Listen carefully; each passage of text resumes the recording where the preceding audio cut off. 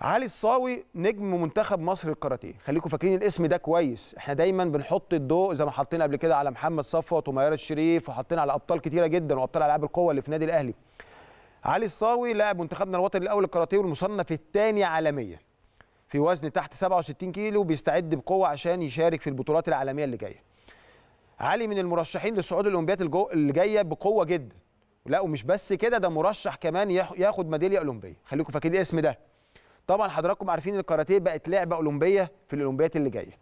وعندنا بطلة مصر ونجمة النادي الأهلي الدكتورة جانا فاروق واللي ضمنت الصعود للاولمبياد كأول مصرية وعربية وأفريقية تصعد للاولمبياد في التاريخ. خلي خليني أقول لكم إن إحنا عندنا أبطال في الكاراتيه بقى لهم سنين طويلة آه، يعني من يمكن مصنفين الترتيب الثاني الثالث الأول في الكاراتيه. والحقيقة دخولنا ال- ال- الاولمبياد أو دخول الكاراتيه اللي بتبقى دورة أولمبية الحقيقة ده ممكن يدينا في الدورة الأولمبية ممكن يدينا ادفانتج إن إحنا ناخد ميدالية أو اتنين. وعلي الصاوي وجانا فاروق على رأس اللاعبين دول ال- اللي هم يعني مرشح ومرشحين وبقوة يحصلوا على ميدالية في الأولمبياد. كل التوفيق لعلي الصاوي إن شاء الله.